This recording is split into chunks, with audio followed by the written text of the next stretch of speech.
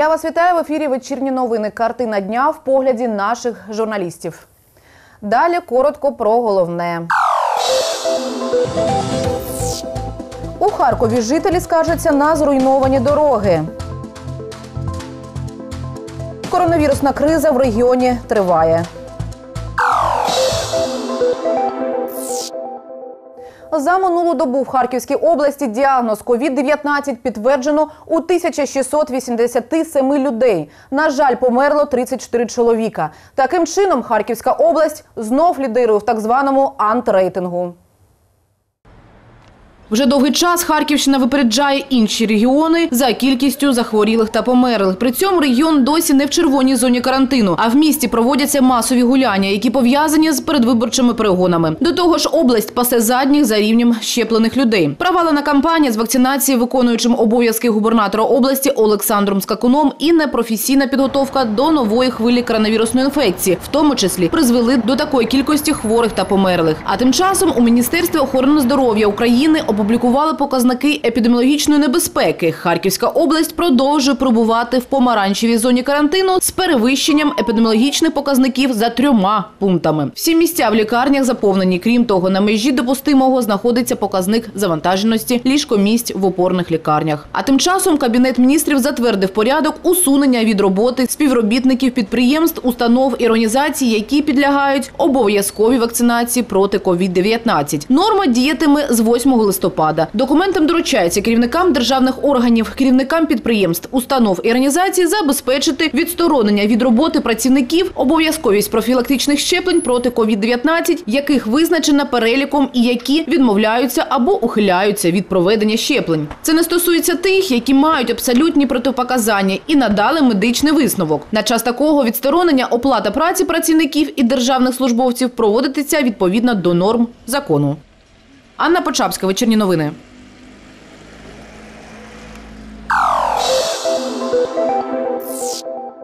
Зовні охайний центр міста дуже відрізняється від того ж центру у подвір'ях. Розбиті дороги, тротуари, через які важко просуватися не тільки звичайним людям, а й людям похилого віку, а тим паче людям з інвалідністю. Харків'яни скаржаться на ці проблеми до мерії. Втім, міська влада лише роздає обіцянки і нічого більше. Стан одного з подвір'їв у центрі міста бачили наші журналісти.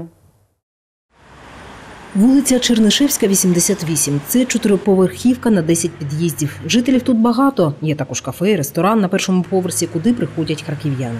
Зовні тротуари і дорога приведені до ладу. Проте, якщо зайти у двір цього ж будинку, натрапляєш на величезні ями і розтрощений асфальт. Стан так званої дороги місцеві жителі навіть не завжди можуть описати словами. Про дорогу тут уже ну, вы, вы снимете. Ямы настолько большие, что даже, ну, которые высокие машины, они все равно цепляются. Но там дырка, там дырка. Двор в ужасном состоянии, и, конечно, ремонтировать дорогу нужно, потому что как наступают дожди или выпадает снег, вообще, в принципе, даже пройти, не то что проехать невозможно. Калюжі, що стоять тут тижнями, свідчать про глибину яму подвір'ї. У будинку живуть люди похилого віку, люди з інвалідністю, яким важко пересуватися такою дорогою. Розбиті шляхи руйнують і автівки. Власники автомобілів скаржаться, що вимушені частіше звертатися на СТО Всім будинкам писали заяви до міської влади, зверталися до тимчасово виконуючого обов'язки мера міста Ігоря Терехова. Були навіть збори проти прохання щодо відновлення асфальтопокриття. Не були почуті, як і багато інших проблем будинку. Окрім ліхтарів, нічого не було зроблено, кажуть жителі. Ну, конечно, мы уже неоднократно просили, но пока без ответа. Мы обращались несколько раз э, к городской власти по поводу вот этого безобразия. Нам сказали, что, увы, мы не можем ничего сделать, когда-нибудь мы запланируем. Обіцянки давати не проблеми вирішувати. Це про дії представників міської влади. А тим часом харків'яни чекають, коли ж їм назвуть якісь конкретні строки, коли саме буде відновлене асфальтне покриття на подвір'ї. Еліна Бардакова, Євген Сіріков, вечірні новини. І вже зараз до нашого ефіру приєднується політична експертка Світлана Кушнір. Пані Світлано, я вас вітаю. Вітаю всіх.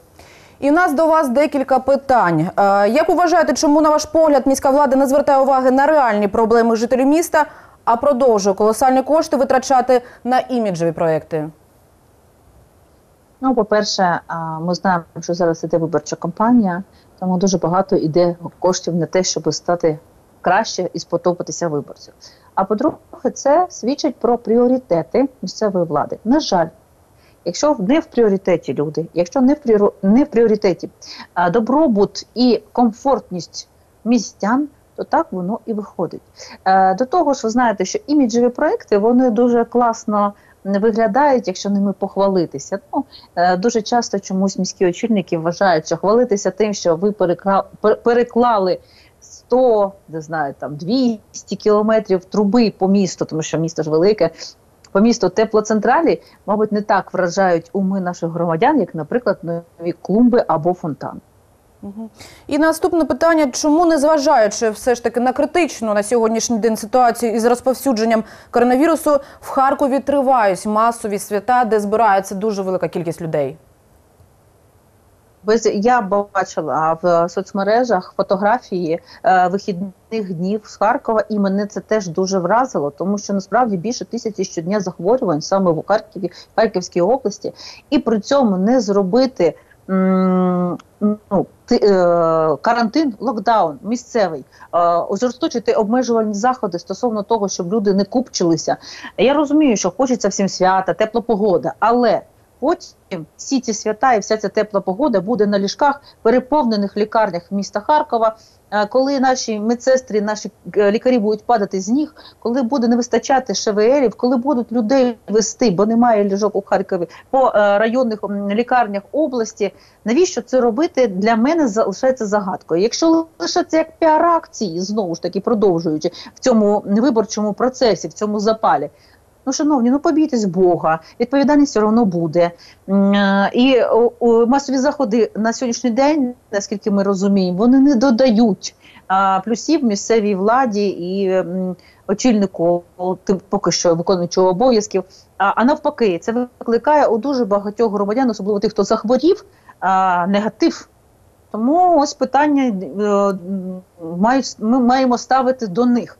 Окрім того, питання знову ж таки і до міського міської ради, яким чином готувалися а, відповідні служби до зустрічі опалювального сезону і до зустрічі нової хвилі ковіду. Як ми знаємо, Харків, на жаль, не є в лідерах по кількості провакцинованого населення, і це питання проваленої комунікації місцевої ради міської з своїми місцями, з харків'янами яким не донесли інформацію стосовно того, що треба це зробити в якийсь спосіб, де, де відкрити пункти вакцинації потрібно, так як це робилося в інших, е, до прикладу, в тій же столиці е, в Харків не, не, не друге місце, не перше місце, але й не друге, але тим не менше столиця відкривала дуже багато пунктів вакцинації, можна було перейняти цей досвід. Так, дійсно є з чим е, порівняти. Пані Світлана, дуже вам дякую за ваш коментар. А я хочу нагадати глядачам, що на зв'язку із нашою студією була політична експертка Світлана Кушнір. На перемогах харківських паралімпійців не так давно піарилися представники влади. Дійсно, подія світового масштабу, де наші співвітчизники змогли не тільки показати себе, а й гідно представити нашу країну та, звісно, рідне місто. Як саме дається результат, мало кого хвилює з чиновників. Пофотографувалися і забули. Тим часом паралімпійцям з фехтування візочникам кожного дня доводиться до та після тренувань долати перешкоди у вигляді сходин на третій поверх. Як саме проходять тренування паралімпійців та що заважає розвитку фехтувального спорту у Харкові, дізнавалися наші журналісти.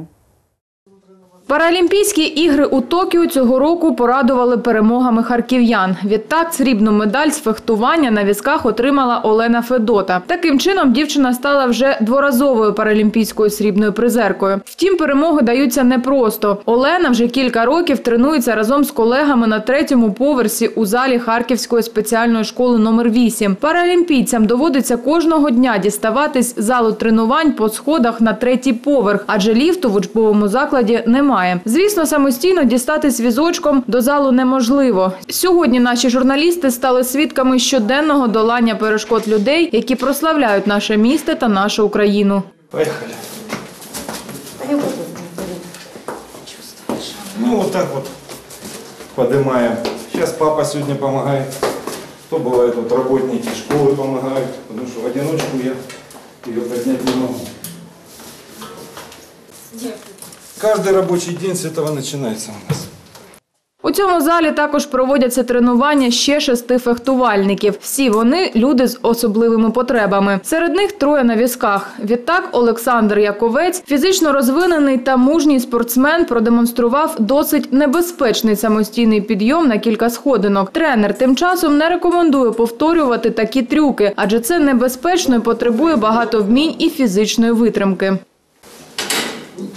То есть это вот рискованно достаточно, видите, он очень сложно. Но может человек при последнем последнем он уже не может. Да, это надо специально тренироваться на эти подъемы и так далее. То есть это достаточно... Тренироваться тоже сил не будет уже, після коли на третій етаж піднімусь. Навіть ви бачили, я з тренером підіймався, і мені потрібно потім віддихатися. І якби я сам підіймався, були випадки такі, але мені потім важко тренуватися, тому що всі м'язи е, можна потягнути, можна травму отримати. Дуже важко. Наразі саме відсутність ліфту заважає долучати до паралімпійського спорту харківських фехтувальників-візочників. Вважають як спортсмени, так і безпосередньо тренер. Тож навіть тим, хто хоче залучитися, іноді мусять відмовляти у тренуваннях. При всем желании пригласить ее и также новых желающих людей, э, мы не можем этого сделать физически, потому что такую нагрузку просто ну, не выдержит наш тренер. И я ей говорю, что ну, если лифт у нас будет, если это сдвинется с мертвой точки, э, ну, обязательно пригласим и будем приобщать э, больше людей, потому что фехтование это такой вид спорта, где дополнительный спарринг – это только дополнительный толчок к росту каждого спортсмена.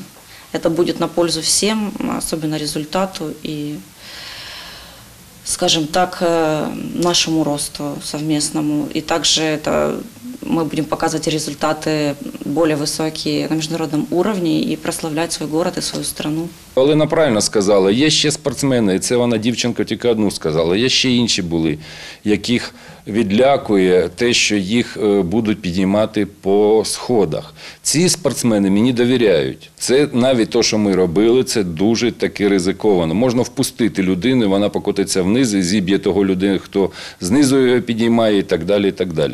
Люди це вони вже якусь травму отримали. Вони боять, вони просто боять. Постійні звернення щодо встановлення ліфту від керівництва закладу, тренера та спортсменів до міської обласної влади досі залишаються без відповіді. Виконуючи обов'язки мера Ігор Терехов, охоче фотографується з паралімпійцями і піариться на цих фотокартках. А от допомагати спортсменам не поспішає. Зокрема, вирішити проблему з ліфтом у спеціалізованій школі не в змозі. Тож досі усі труднощі у зв'язку з підйомом на третій поверх візочників лягають на плечі тренера, співробітників школи або родичів. Окрім того, страждають не тільки паралімпійці, а й учні спеціальної школи.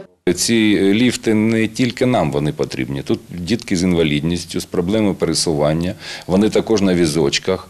І з ними також проблеми. Вони не можуть дістатися на другий, третій поверх, де є класи. Вони навчатися мусять, а вони не можуть навчатися. Е, Нас тут 10 спортсменів, а дітей тут кілька сотень. Ми більш це підіймаємо до того, що е, і нам, і дітям, які навчаються, це спеціалізована школа. Це спеціалізована школа для дітей з інвалідністю. І не мати тут ліфтів, ну це розумієте, ну в голові не укладається, скажімо так. Ми регулярно звертаємось е, і до депутатів, і е, от сейчас после Паралимпийских игр мы в горсовете обратились э, к м, нашим управляющим, э, кто нас поздравлял, рассказали о нашей проблеме. Ну вот они прислали бригаду, которая посмотрела эту шахту и ну, констатировала ее смерть. У школі було заплановано дві шахти для ліфтів. Їх зробили кілька років тому і далі діло не пішло. Наразі приходили експерти, які дослідили шахти та винесли вердикт – шахти аварійні. Ну, ми не спеціалісти, ми цього не знаємо, але якісь знайшлись проблеми, і я боюся, що це знов е, Я кажу, це похоронять це і забудуться. Час іде після Паралімпіади, все менше і менше уваги приділяється спортсменам, все забувається. І я думаю, що воно так і надалі буде. Тобто на відновлення шахти, закупку ліфтів потрібні значні кошти, які необхідно додатково виділяти певним комісіям. Кожного року відповіді були однакові. У бюджеті не закладено відповідної суми. Тренер підкреслює, навіть значні заслуги перед містом та країною не зрушили з місця це питання. Тож на позитивне рішення, на його думку, вже майже немає надії. Еліна Бардакова, Дмитро Позняков. Вечірні новини. Дивіться далі у вечірніх новинах. Відкритість та прозорість діяльності органів місцевого самоврядування обговорили у міськраді під час круглого столу. Понад 2 тисячі гривень стільки кожен житель Харківської області заборгував комунальним підприємствам за спожиті послуги. На Харківщині ДСНСники вихідними врятували корову, яка провалилася до колодязя. Понад 2 тисячі гривень стільки кожен житель Харківської області заборгував комунальним підприємствам за спожиті послуги. Зважаючи на те, що за прогнозами експертів цієї зими комунальні послуги можуть стрімко здорожчати, сума боргів за комуналку може стрімко зрости. У такій ситуації і обласна влада на чолі з виконуючим обов'язки очільника Харківщини Олександром Скакуном, і міська на чолі з виконуючим обов'язки керівника міста Ігорем Тереховим тарифними питаннями не опікуються. Подробиці далі. Найбільше майже 3 мільярди 800 мільйонів гривень жителі Харківщини завинили за тепло та гарячу воду. По інших комунальних послугах борги також обраховуються чималими сумами. За воду та водовідведення мешканці області заборгували майже 782 мільйони. За електроенергію майже 711,5 мільйонів. За утримання будинків та прибудинкової території понад 463 мільйони гривень. І суми боргів місяць від місяця лише нарощуються. Харків'яни говорять, за такими тарифами платити вкрай важко, бо тарифи зависокі. Субсидію на оплату комуналки отримати складно. Нужно. Очень сложно. Раньше получали мы субсидию, но вот у меня младшая дочка потеряла работу сейчас. И субсидию мы не получим, потому что она безработная. Тяжело, очень тяжело. Тяжело. Отопление, горячая вода. Это самые большие вот у нас. А зимой даже не представляю, сколько будет. Нет, это нереально.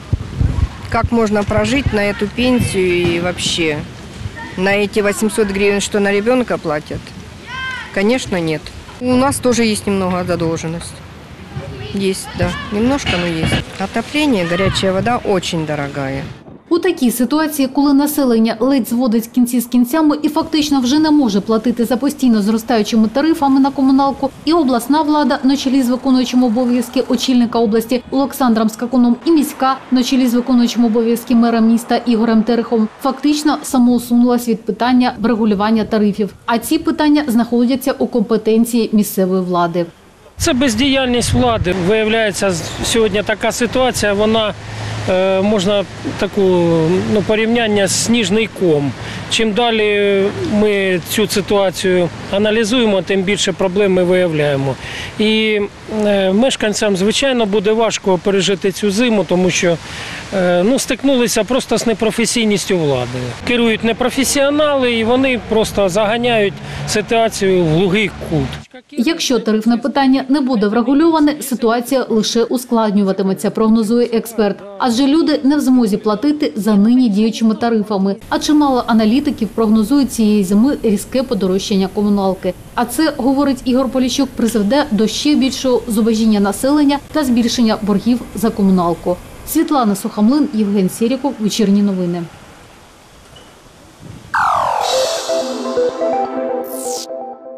Відкритість та прозорість діяльності органів місцевого самоврядування обговорили у міськраді під час круглого столу. Та далі слів діло не йде. Доступу до інформації у громадян і навіть депутатів майже немає. Подробиці дивіться далі. Відкритість та прозорість діяльності органів місцевого самоврядування – тема, яку вже вдруге обговорюють під час круглого столу у міськраді. Але з місця це питання так і не зрушено. Одна з проблем міста, яка яскраво це демонструє – забудова у межах житлових кварталів. Проекти рішень не публікуються до їх прийняття, тож люди ніяк не можуть на ці рішення вплинути. І це викликає обурення та протести. Не треба казати, що цього не можна робити законодавством. Можна. І ми можемо встановити ці критерії. Перший критерій точкової забудови в межах мікрорайону. Ми приймаємо цей критерій, що точкової забудови в межах мікрорайону, не нове будівництво нових мікрорайонів. Тільки у випадку проведення консультацій. І ми однією цією зміною знімаємо всі проблеми по всьому Харкову. Тому що коли доходить до точкової забудови, вже є виділена земельна ділянка, вже погоджений проєкт будівництва, вже починається будівництво забору, мешканці тільки тоді знають, що у них буде. Харків'яни в принципі не можуть ніяк вплинути на будь-які рішення влади, хоча за законом мають на це право. І ця ситуація вже стала гострою у нашому місті.